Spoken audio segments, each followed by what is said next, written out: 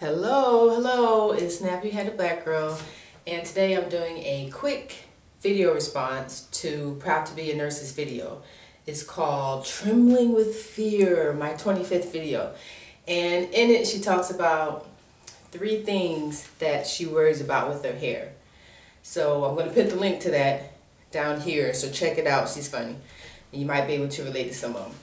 But um, my video response. I don't really have anything that I worry about. I just have one main thing. And I feel silly because I've been talking about this honestly for at least a year now. so I'm sure you've heard this before if you follow my blog or my channel. I have some really thin dreads in the back and like a couple maybe up here because the textures are a little different. And they're like hanging on for dear life. And I always say, oh, I'm just going to cut them or you know, sew them, immerse them, twist them with some, you know, some other ones close by so it'll be thicker. But I never do it because they're still hanging in there. So I'm like, eh, I'm not going to do the extra work. You know, I'm just going to, I guess, wait for it to fall off and then take action. So I've never done anything with them.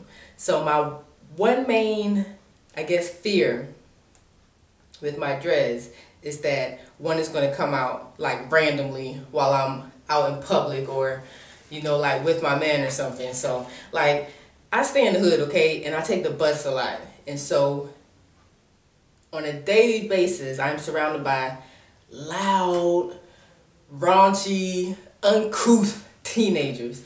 So I can just see myself like riding on the bus one day, minding my business.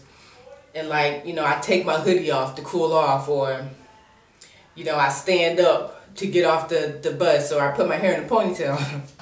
and I can hear somebody from way, you know, in the back of the bus as, as I'm getting off. Hey, hey, hey, excuse me, excuse me, ma'am. No, no, you with the with the nappy hair, the one with the red shirt. You you dropped something.